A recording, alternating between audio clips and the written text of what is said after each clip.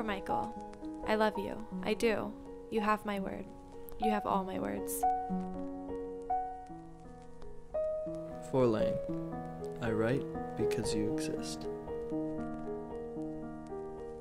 Kisses dream of lips like yours.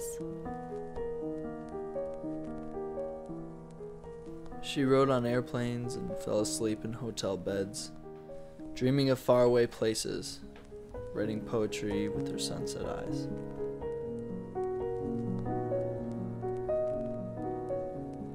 I watched as he reached for the ice cream, standing naked, body pressed up against the humming fridge. A wispy trail of bluish gray smoke spiraling up from a dying cigarette, held precariously in the other hand, ash falling to the floor. Her perfume reminded me of freshly picked flowers and sticky candy floss mixed with a gentle hint of debauchery.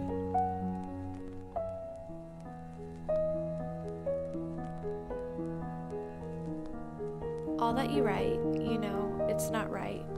You move me with written suggestion. I know it's absurd to be undressed by a word.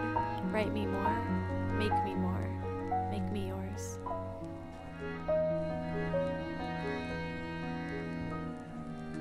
She had a mind like a box of fireworks and hands that played recklessly with matches.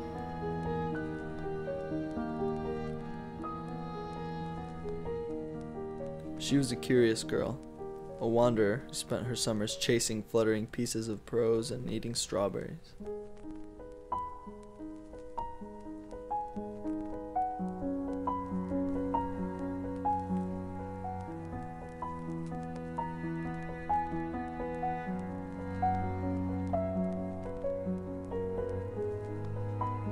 Put your hands on my knees and think of me as a book you've been dying to read.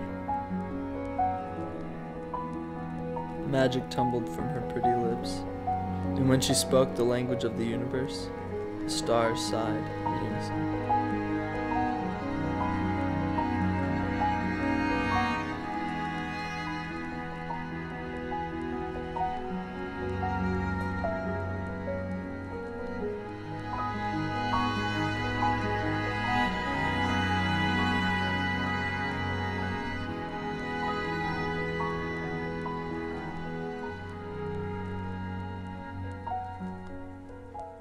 I am hypnotized, sleepwalking to the rhythm of your words, never wishing to wake.